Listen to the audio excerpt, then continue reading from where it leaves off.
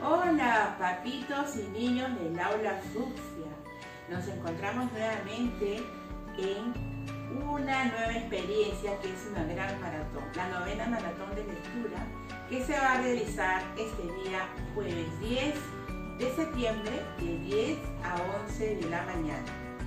Esta maratón de lectura va a fortalecer las competencias comunicativas en la que cada familia se va a conectar con el entorno a través de diversos textos. Desarrolla la imaginación, la creatividad y el pensamiento crítico reflexivo. Te invito a participar con toda tu familia. Para este maratón, chicos y papitos, deben escoger primero un ambiente adecuado en tu casa. En este caso, al aula fucsia nos ha tocado la temática del bosque. Miren ustedes cómo yo he tenido que decorar.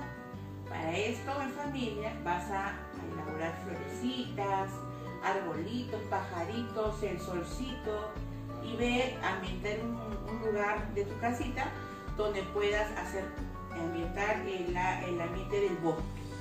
¿sí? Luego debes escoger los cuentos, de preferencia que sean cuentos con dibujos grandes y muy coloridos.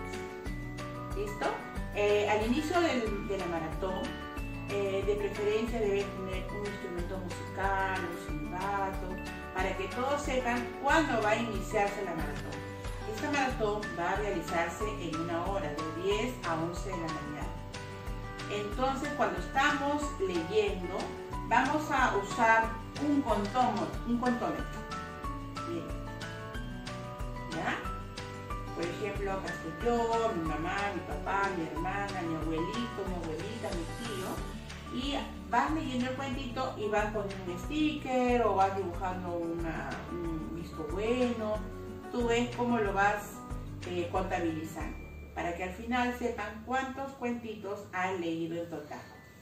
Luego que termina la maratón, vuelves a sonar tu instrumento musical o el silbato y dan por finalizado la maratón.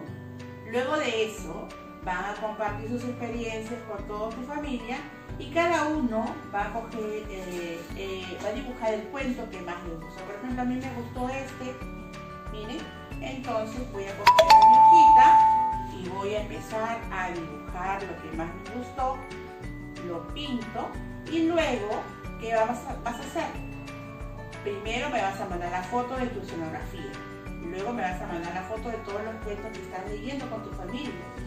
Y luego vas a mandarme las fotos de todas las figuras, de todos los dibujos que hicieron, de los cuentos que más les gustó. Todo eso lo juntas en un collage y lo envías por el web para yo ver que has trabajado.